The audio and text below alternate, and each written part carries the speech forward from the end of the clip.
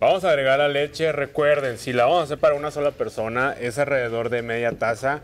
Bueno, una taza medidora, media taza de la que usamos para el café, Leche ¿no? light deslactosada. Es leche light o leche deslactosada light. Ajá, cualquiera de las dos funciona. Va. Eh, porque es más dulce la deslactosada porque ya viene separada la molécula. No es que tenga más azúcar Mm. para aquellas personas que tengan la duda. Ok. Si se fijan, es poquito de este cocoa.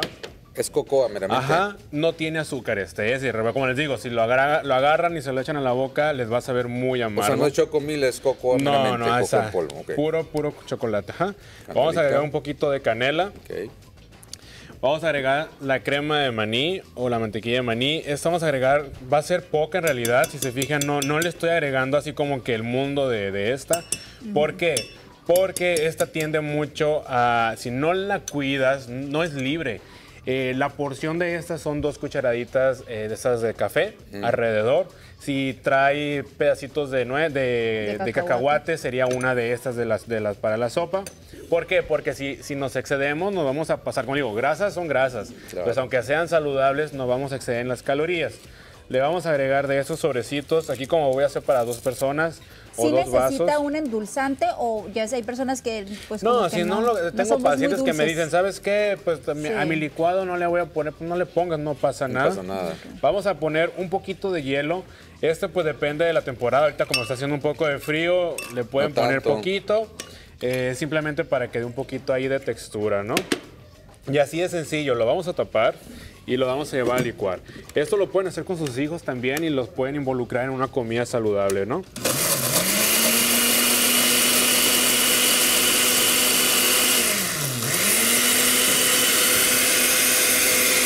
Y esto ¿Le- le puedes prácticamente echar ya un, un está. poquito de avena a lo mejor? Le puedes poner avena, le puedes ¿Sí? poner, sí, claro. Así, así en, en cruda, ¿no? En cruda. ajá. Dice que con plátano también se Plátano bueno, ¿no? se puede. Ah, ya eh, modificaste el líquido. No, pero sí se puede, pero recuerden, la porción de plátano es media pieza Poquito, de plátano. ya. Media Luego pieza, las personas, ok. por ejemplo, con personas que tengan diabetes o algo por el estilo, hay que tener mucho cuidado.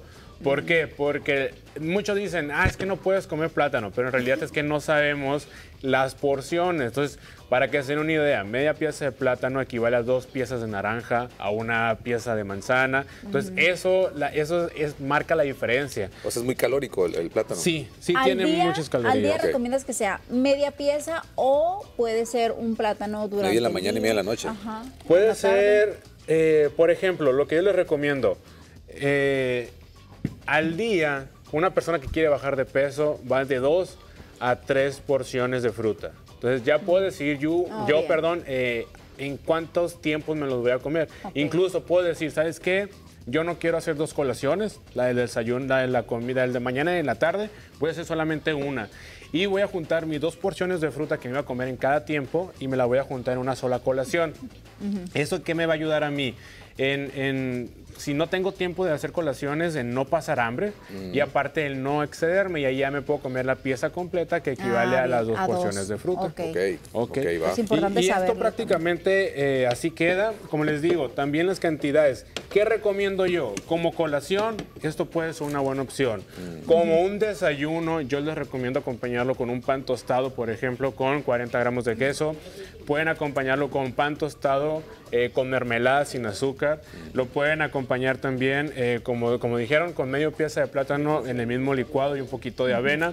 Eh, depende de cómo vas a utilizarlo, es como qué acompañamientos van a tener, ¿no? Ah. Entonces, como una colación para los niños después de que lleguen de la escuela o antes de, de la cena, puede ser una buena opción y siempre y cuando, pues, cuidando las cantidades. Ok, perfecto.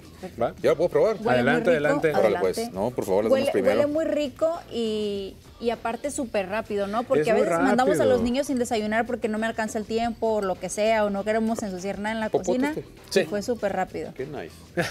¿Qué? Pues es que es así como metálico. Entonces, eh, de verdad, es muy fácil, Sí, es sabe a los chocolates sencillo. que dijiste. Sabe a los chocolates que le digo rico. que ven en, en todos lados, esos Unos naranjitas, ajá, eh, Ey, que que tienen empiezan crema con. R, ¿no? Sí. Hiciste Entonces- los ojos como el gato. Sí, ya sé.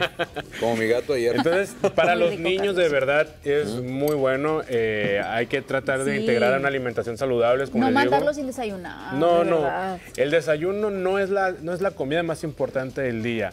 Pero lo que puede pasar es que se vayan sin desayunar y les dé hambre y lo primero que se atraviese o que vean en la tiendita lo van a querer comprar. Entonces, la idea de llevarlos desayunados es precisamente eso, no hacerlos pasar hambre y aparte sí les va a ayudar mucho a, concentrarse mejor, rico. etcétera, ¿Podría etcétera. ser a media tarde esto? Sí, claro que sí. Sí, sí. Órale, me gustó, me gustó. Nunca le he echado crema de cacahuate a un licuado. Lo voy a empezar a hacer. Le da un sabor muy sí, rico. le da un sabor muy rico. Muy, y aparte ya hablaba Carlos también de todos los beneficios y, y del cacao, pues se-